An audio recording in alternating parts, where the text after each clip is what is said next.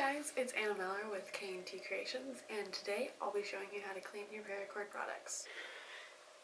So now that we have a bowl of warm water, we are going to add a bit of Dawn's dish soap or any dish soap you have available. I don't know how much. And then a little bit of baking soda. Just sprinkle it in. This is all good. And then I'm using just like an old toothbrush I found. And then, I don't know if you can tell, but this, whoa. Alright, I don't think it's gonna focus. This is rather dirty. So.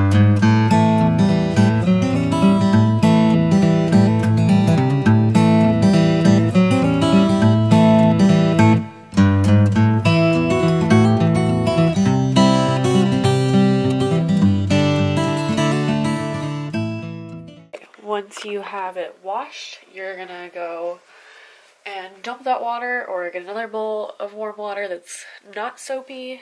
So we're gonna move this stuff out of the way. And you're just gonna rinse it.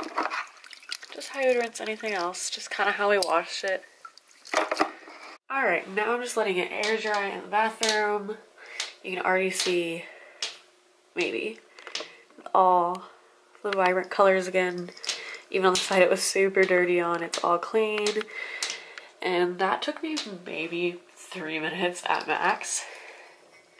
Just a little bit of dish soap and baking soda and warm water. And your paracord looks brand new. So that was how to clean your paracord and I'll probably post an after photo of it after it's all dry and pretty.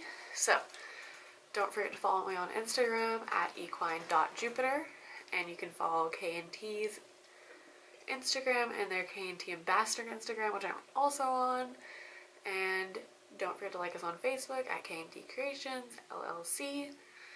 And that's all for today. So don't forget to follow everything. And if you're going to make a purchase anytime soon, you can use the code MJAM2016 for 10% off your order. Have a great day.